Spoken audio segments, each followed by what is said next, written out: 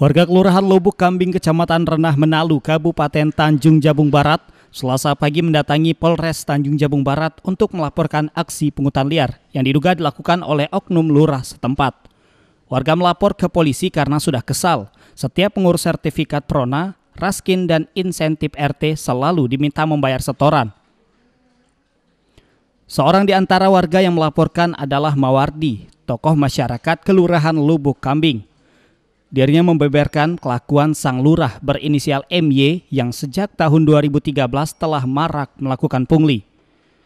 Seperti mengurus pembuatan sertifikat Prona, diminta membayar 2 juta per sertifikat. Selain itu juga terjadi pengurangan jatah raskin setiap warga dan pemotongan insentif setiap ketua RT masing-masing Rp100.000. Kalau sertifikat itu dia minta nah, Prona itu 2 juta satu per sertifikat.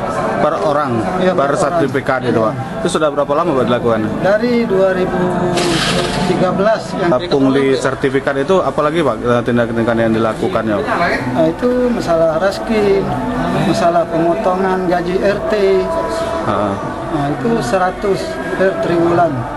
Alasan lurah itu sendiri kenapa ap- ada Pak alasan tersendiri ia melakukan pemotongan atau melakukan pungli itu? Nah, itu kita tidak jelas itu RT yang jelas itu. Maka RT kan sekarang sudah diperiksa.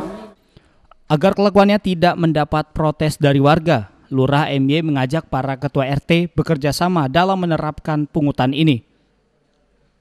Namun ketua RT yang tidak lagi dilibatkan dalam aksi pungli tersebut akhirnya membongkar kelakuan MY. Atas laporannya ke Polres Tanjung Jabung Barat, pihak kepolisian belum ada yang bersedia memberikan keterangan. Selamat Riyadi, Jambi TV.